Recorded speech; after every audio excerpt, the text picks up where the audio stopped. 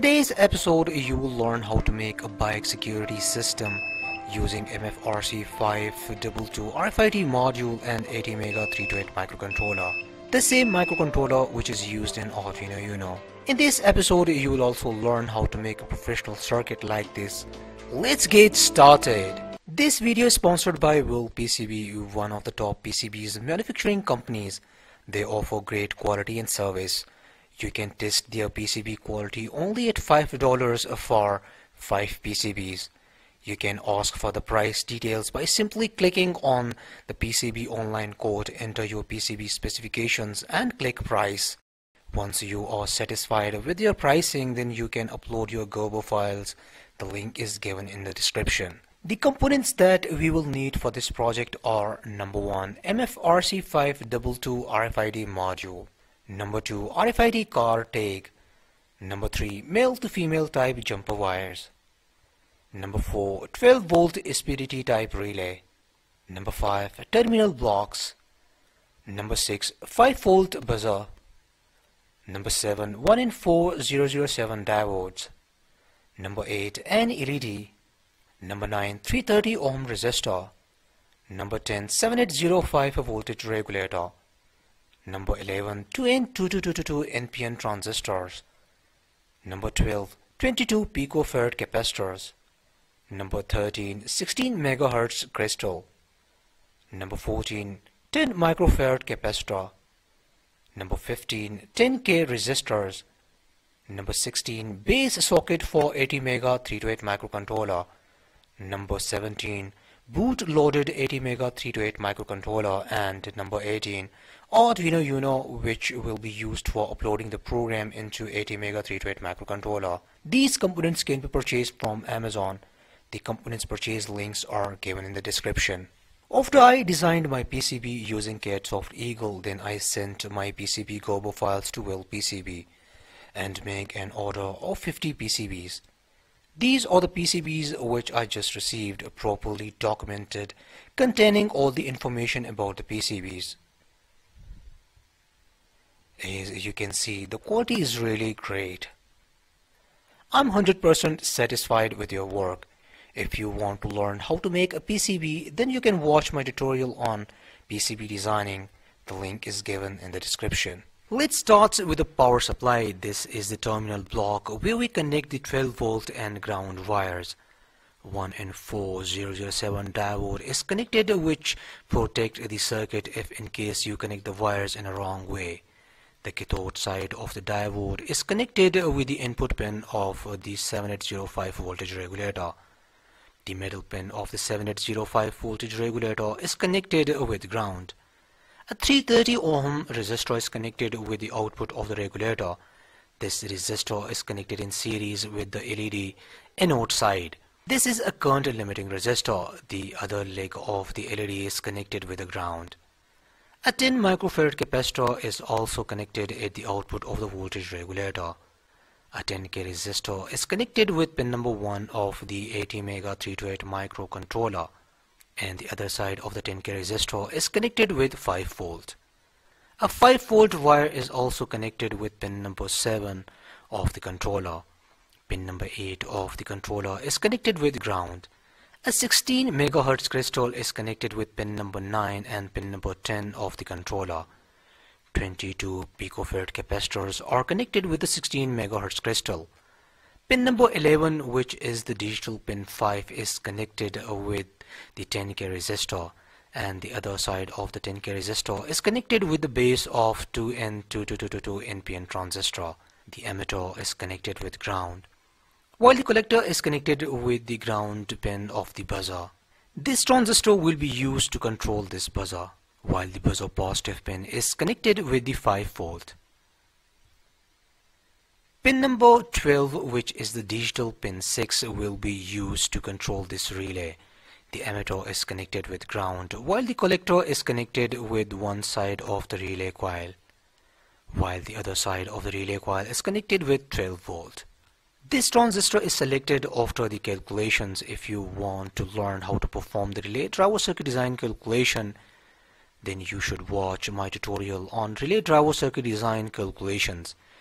This tutorial covers the relay pinouts, finding the relay coil resistance and calculations. A diode is used across the relay coil for back EMF protection. A terminal block is connected at the output of the relay coil. These two pins 9 to 13 are connected with the RFID module. First of all, insert the 12 volt SPDT type relay into the PCB board. Then after this, you can see it's a diode is you can see this silver line side is the cathode. is you can see this line is the cathode side. Now simply insert this diode.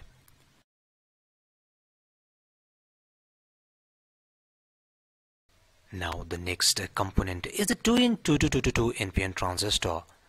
As you can see, it's labeled with emitter, base and collector.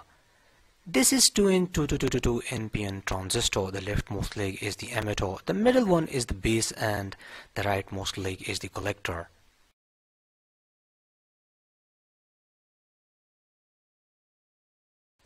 Now let's insert the buzzer.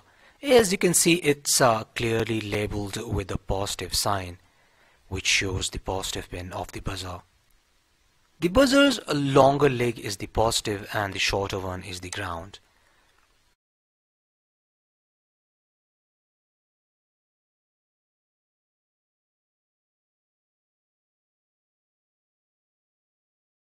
As you can see, this PCB is properly labeled. Similarly insert all the remaining components. So now as you can see all the components are inserted into the PCB board. Now we will start the soldering.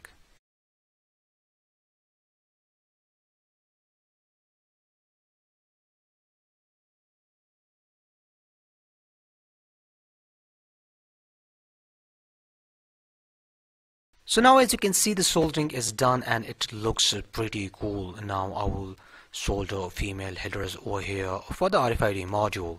I'll be back after the soldering. So as you can see our soldering is completed. I connected the MFRC522 RFID module using male to female type jumper wires. Few days back I posted a tutorial on Arduino MFRC522 RFID module pinouts interfacing how to read RFID tags identity number and use. In this tutorial, I covered all the basics like interfacing, finding the identity numbers of the tags. I am using the same RFID tag. So if you don't know how to find the RFID tag identity number, then you should watch this tutorial. The link is given in the description. This is the program written for the bike security system using MFRC522 RFID module. As you know, RFID module communicates with the controller using SPI bus. In Arduino and Mega the SPI pins are different. If you are using Arduino then connect the pins in same way as I connected.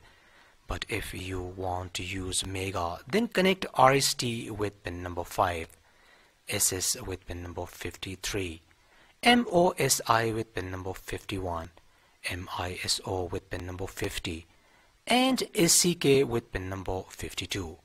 Before you start the programming, first of all, make sure that you download these two libraries. You can download these libraries from GitHub.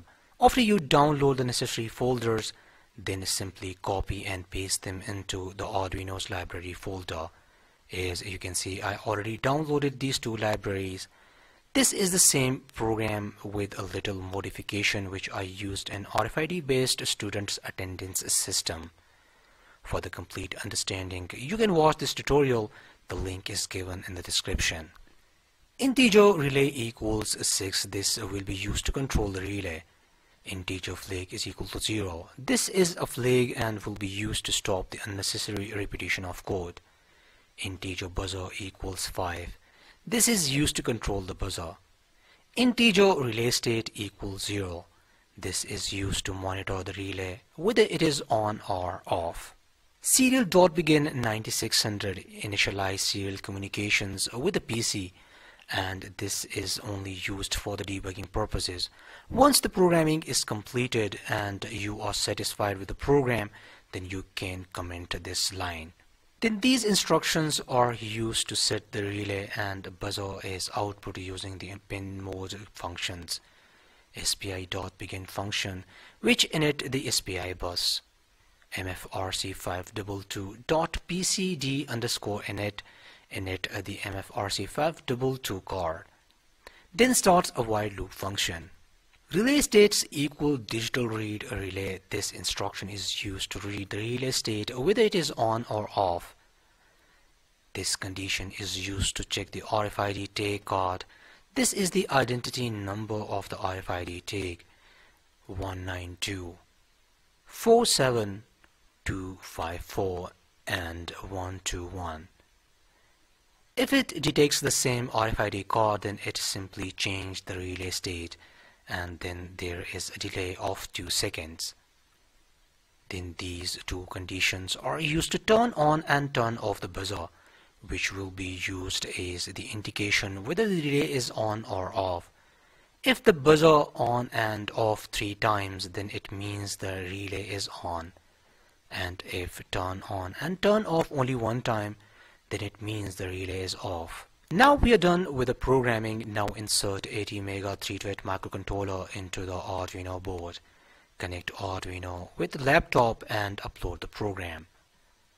Now this ATmega 328 microcontroller is ready and can be used in this circuit. Now let's test this circuit before we can install this circuit in a bike.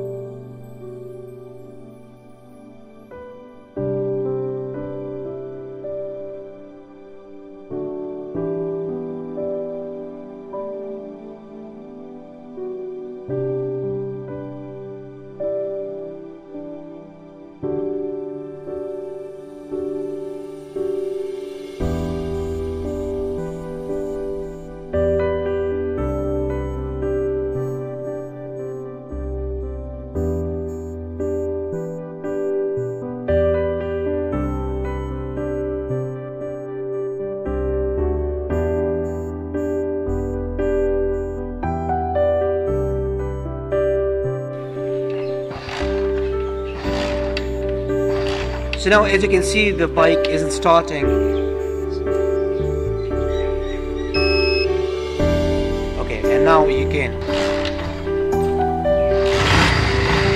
And now it's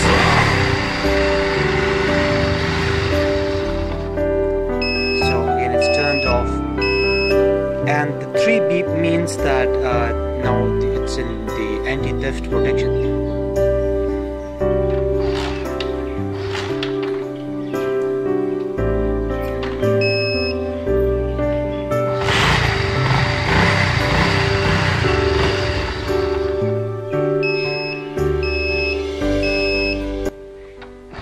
You today's episode. Like and share this video with your friends. See you in next episode and thanks for watching.